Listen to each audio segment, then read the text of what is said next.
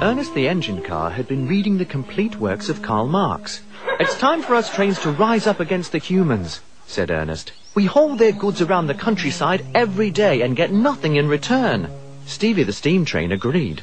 Once I had to transport so much coal, I hurt my coccyx. His story made dubious not only by his stutter, but also by the fact he didn't have any bones. But the fat controller won't be very happy about this, Stevie added. Who cares? said Ernest. He's treated us like we're nothing more than machines. But we are machines, said Stevie. Aren't we?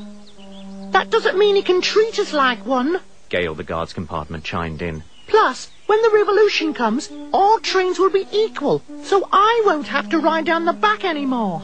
Well, let's not get carried away, said Ernest. I'll still be up the front. I'm the engine car. You're just a caboose. Sounds to me like we're just replacing the fat controller with a complete dictator, said Stevie. But don't worry, Ernest. I'll still join your revolution. No one's the boss of me. That's the spirit, comrade, said Ernest, who would have raised a fist if he had one. Well, just as long as the fat controller says it's okay, said Stevie.